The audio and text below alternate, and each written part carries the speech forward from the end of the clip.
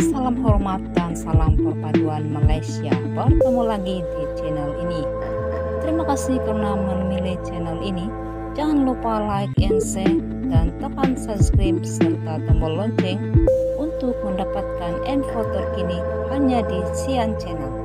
Malaysia info hari ini dipetik dalam obrolan. Sejak kebelakangan ini isu mengenai orang ketiga atau penyandal terus menjadi topik hangat.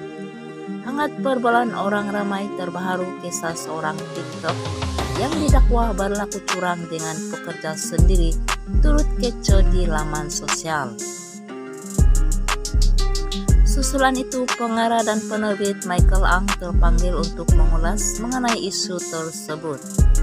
Menurut Michael, dia kebiasaannya menggambarkan watak penyondol dalam naskahnya, seorang wanita yang rambutnya berwarna dan berpakaian seksi.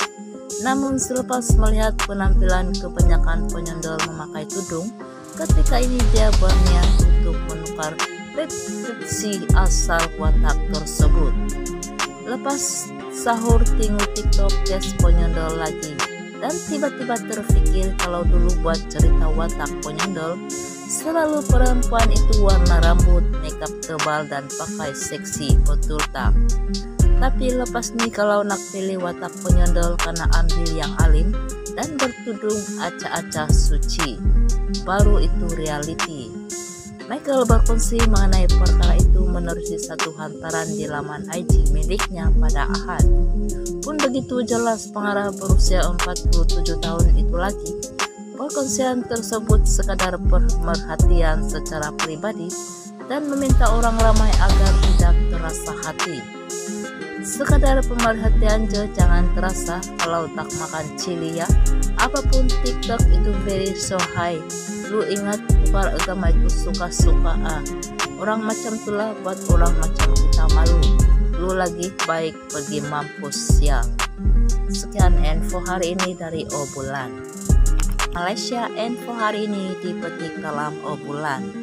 Sejak kebelakangan ini isu mengenai orang ketiga atau penyandal terus menjadi topik hangat. Hangat perbulan orang ramai terbaru kisah seorang TikTok yang didakwa berlaku curang dengan pekerja sendiri turut kecoh di laman sosial.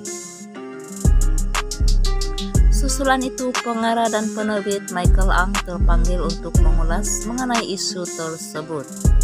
Menurut Michael, dia kebiasaannya menggambarkan watak penyondol dalam naskahnya, seorang wanita yang rambutnya berwarna dan berpakaian seksi. Namun selepas melihat penampilan kebanyakan penyondol memakai tudung, ketika ini dia berniat untuk menukar prediksi asal watak tersebut. Lepas sahur tengok TikTok Jess penyondol lagi dan tiba-tiba terpikir kalau dulu buat cerita watak penyondol selalu perempuan itu warna rambut, makeup tebal dan pakai seksi, betul tak? Tapi lepas nih kalau nak pilih watak penyondol karena ambil yang alim dan bertudung acah-acah suci, baru itu reality. Michael berkongsi mengenai perkara itu menerusi satu hantaran di laman IG miliknya pada Ahad. Pun begitu jelas pengarah berusia 47 tahun itu lagi, perkongsian tersebut sekadar pemerhatian secara pribadi dan meminta orang ramai agar tidak terasa hati. Sekadar pemerhatian je jangan terasa kalau tak makan cili ya. Apa pun TikTok itu very so high. Lu ingat tukar agama itu suka-suka ah. Orang macam itulah buat orang macam kita malu. Lu lagi baik pergi mampus siang. Sekian info hari ini dari Obulan.